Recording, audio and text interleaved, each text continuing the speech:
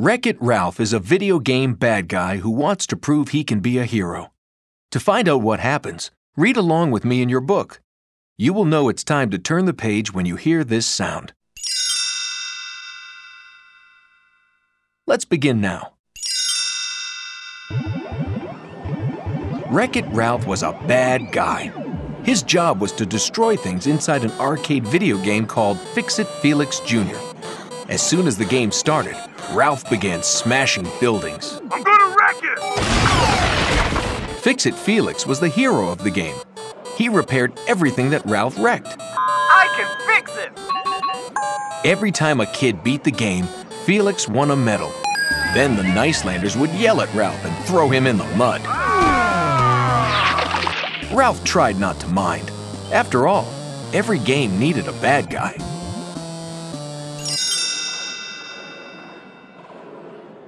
One day, Ralph decided that he'd had enough.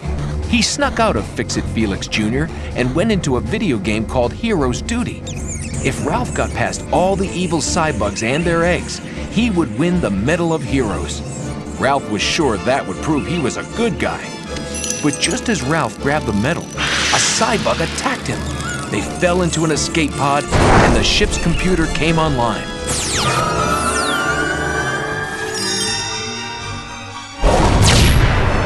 Ralph and the Cybug launched across the arcade.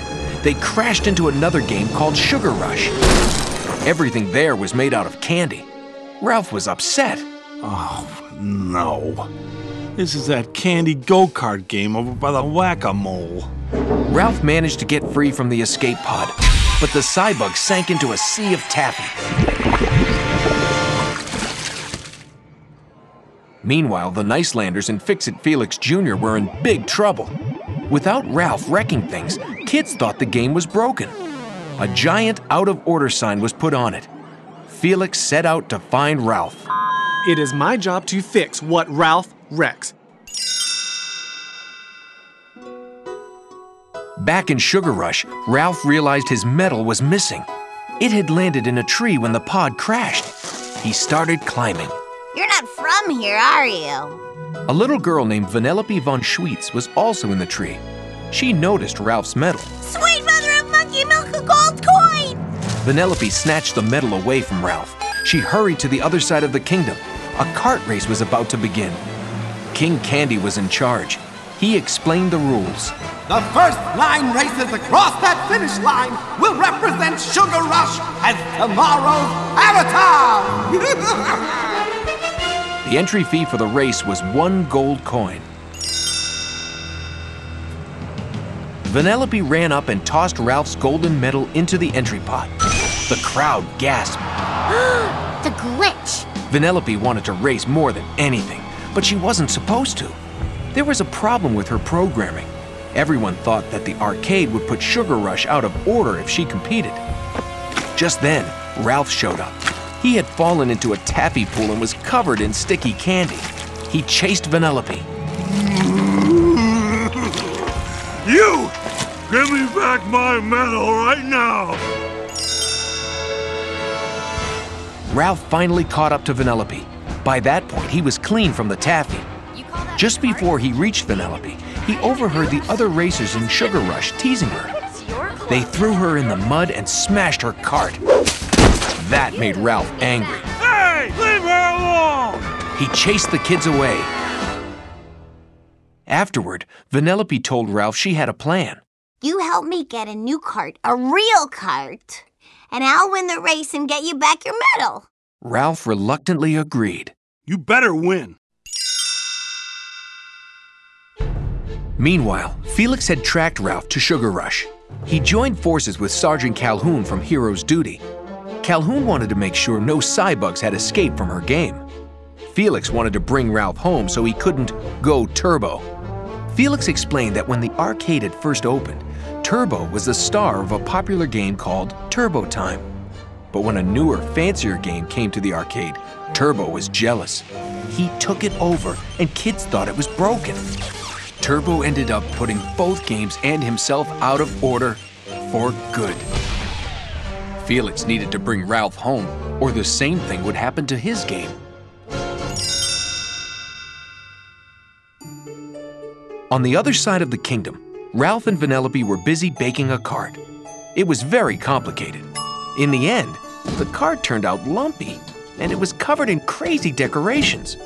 Ralph thought it was a disaster, but Vanellope was thrilled. She finally had a real racing cart. When Ralph saw her face, he couldn't help feeling a little proud.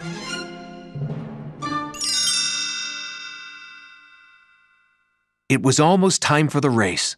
Vanellope ran to get something. Just then, King Candy showed up with Ralph's medal.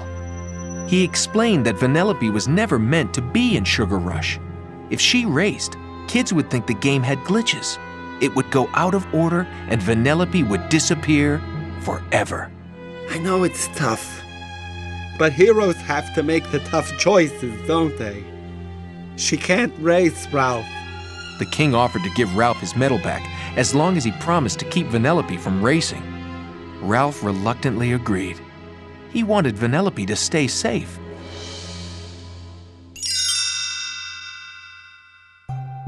King Candy left just as Vanellope returned. She had made a special medallion for Ralph. It said, You're my hero. Ralph felt terrible. He had to tell her the bad news. Look, you can't be a racer. Vanellope saw that Ralph had his medal back and thought he had turned against her. You're a rat! And I don't need you. And I can win the race on my own. Ralph realized there was only one way to keep Vanellope from racing. He smashed her cart. You really are a bad guy. Vanellope ran off in tears. Ralph sadly headed back to the Fix It Felix Jr. game. When he got there, he noticed something strange. Across the arcade, he could see the Sugar Rush game console. It showed pictures of all the racers, and Vanellope was one of them. Vanellope wasn't a glitch. King Candy had lied to him. Ralph realized that King Candy had messed with Vanellope's programming. If Vanellope crossed the race's finish line, the game would reset and her programming would be restored. Ralph dashed back to Sugar Rush. He found Felix trapped in King Candy's dungeon. Ralph begged him to repair Vanellope's broken cart. There's a little girl whose only hope is this cart.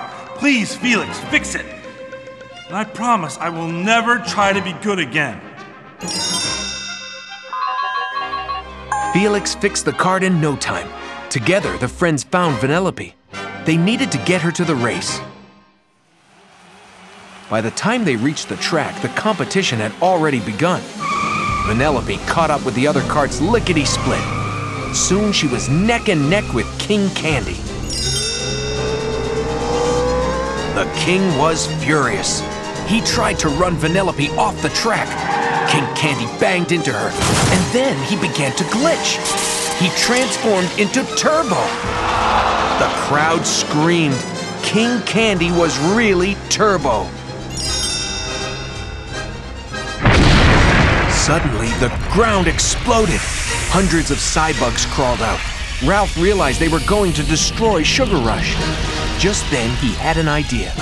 Cybugs were attracted to bright things. Ralph climbed to the top of a tall mountain and wrecked it. A bright stream of diet soda shot out. The cybugs flew straight into the geyser and were vaporized. A cybug chomped Turbo and flew into the soda too. Ralph was about to fall in. Suddenly, Vanellope zoomed up on her cart. She rescued Ralph from the mountain just in time. They were both heroes.